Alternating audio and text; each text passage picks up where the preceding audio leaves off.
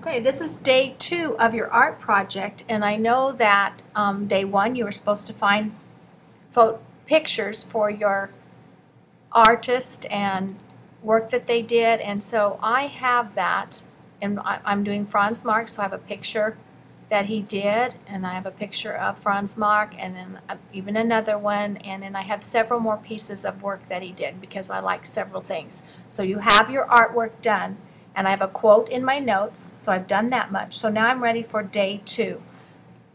So the first thing that we're going to do is open up a new pages. Now, I have to decide which artwork I want in my background. And I happen to know that I want the horse in my background. So I'm, my layout of my horse is a landscape laying. So I know that I want to go to page blank and choose the landscape orientation. Once it opens up, remember that we're going to go to the bottom of that page and go to 100% so I can see my whole dot uh, canvas when I'm working. And then I'm going to slide that picture over onto my background. And I want to make it the background of my artwork.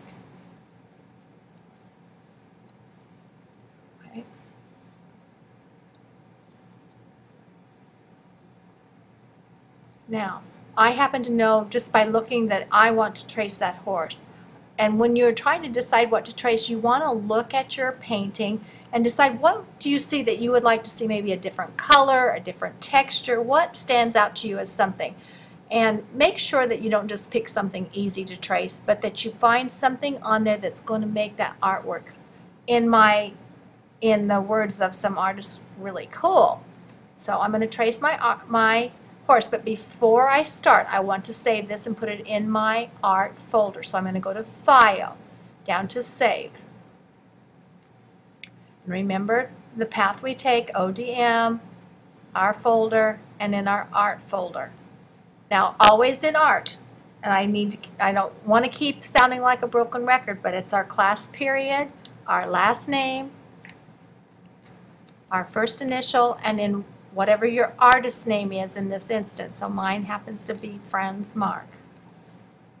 And then I'm going to hit save. And then notice it has a title up here.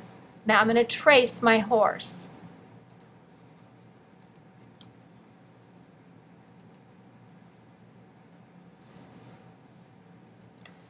And I am going to get, I know that um, you will be graded on how accurately you trace this time. With the letter, we weren't so worried about accuracy, but on this particular project, you are, so you want to be careful.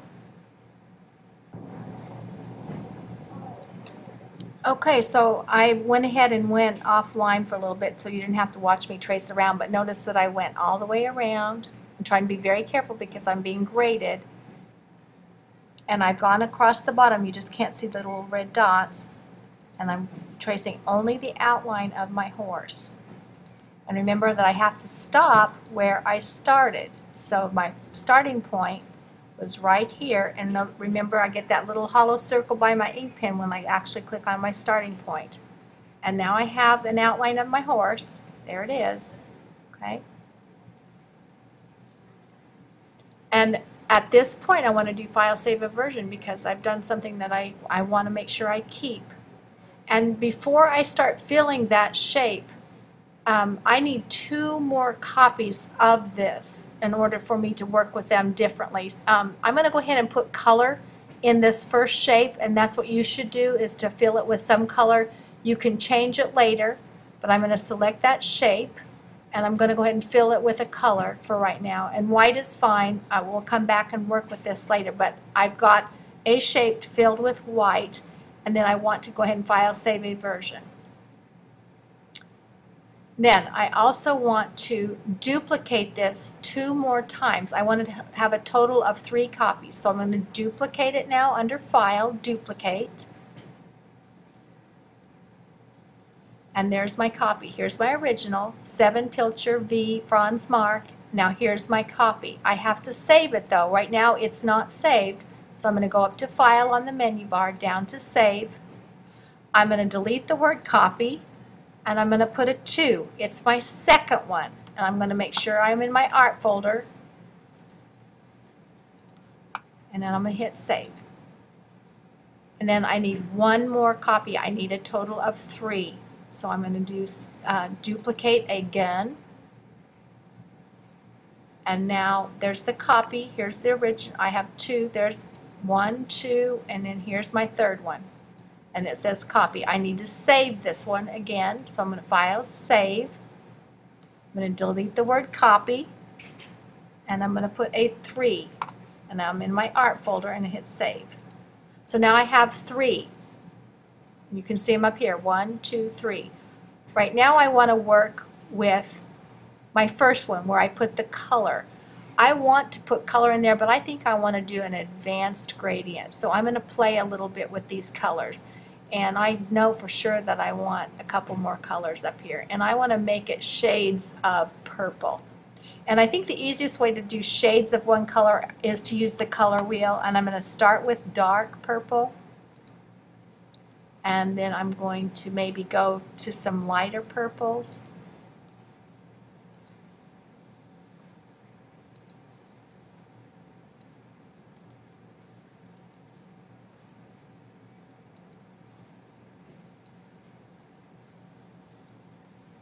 And then maybe I want to go back to darker purples again.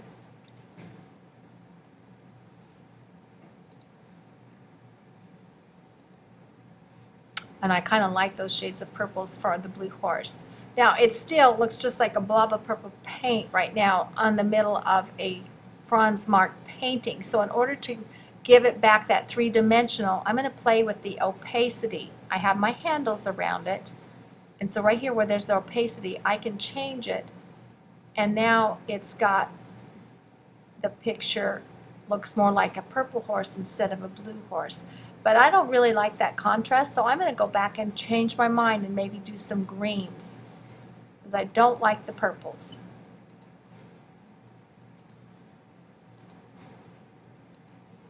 So it's easy to change our mind. And again, I want to play with the opacity a little bit. And then the last thing that I want to do is get rid of this hard line. So I'm going to take where it says stroke, I'm going to click on line and choose none. And then I want to click away. And I think that's kind of a cool change to that blue horse. I like that. So I want to go to File, Save a Version. And I'm going to keep that as maybe a possibility. Now I'm going to go to my second one. And in this one, I want to put a picture inside this tracing of my horse. I want to go and get one of his other paintings. So I'm going to go to my art folder.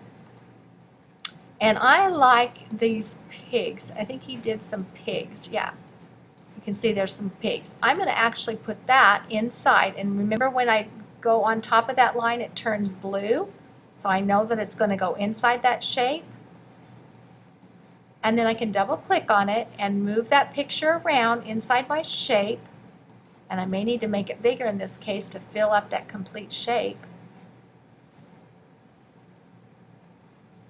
And then I'm going to click away. Click on my shape so I get the handles. And again, I want to work with the opacity so that it is actually a horse with shades of, of pig in there. And when I click away, I can see the outline of the pig, but yet I can still see my horse. I like it, so for now I'm going to do save a version. I can come back and play and edit with that a little bit more. Then I want to open up my third one. This is the one that has the three. This time I want to get some random picture to put in there that has nothing to do with nothing, but just something I like. So I'm going to actually go back out to the internet and I'm going to search for, mm,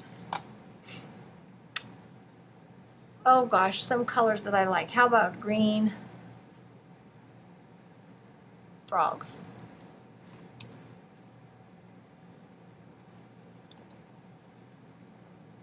And I want something really, really green.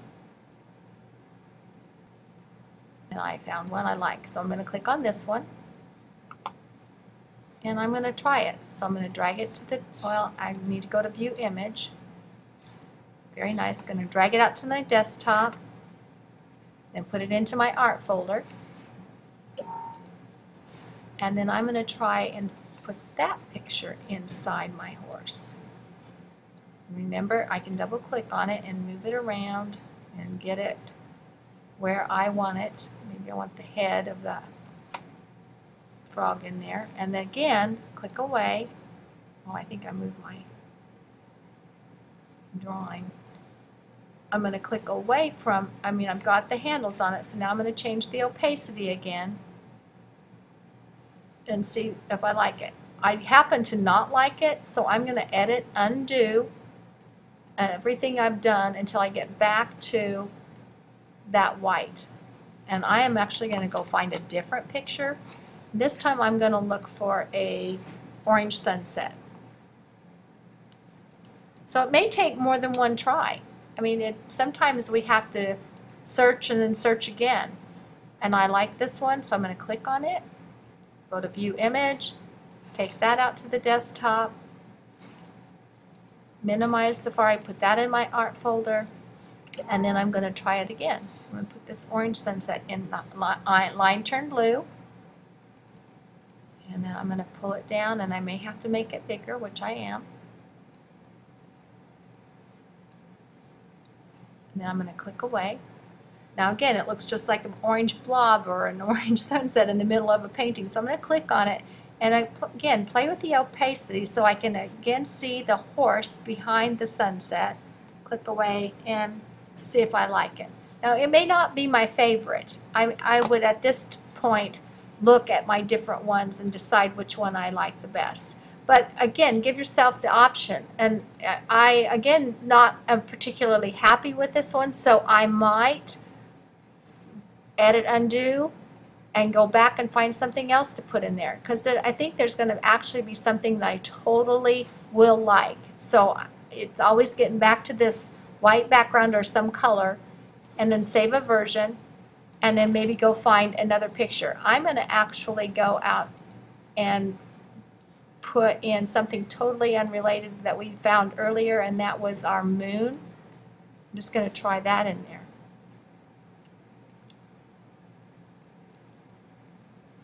I didn't like that, so I'm going to look again. There are just lots of choices. I'm going to try Van Gogh Starry Night.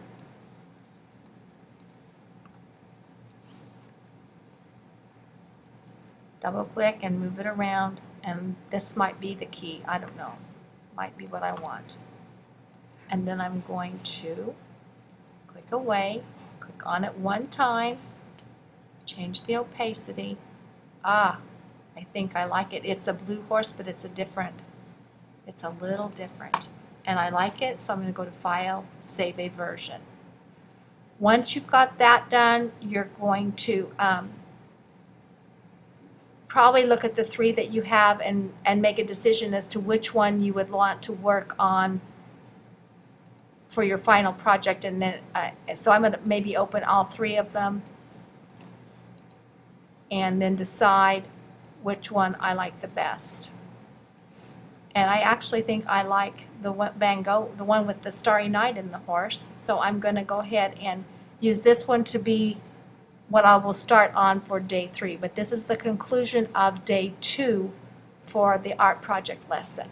So you want to go to File, Save a Version. You're going to go to Pages, Quit Pages.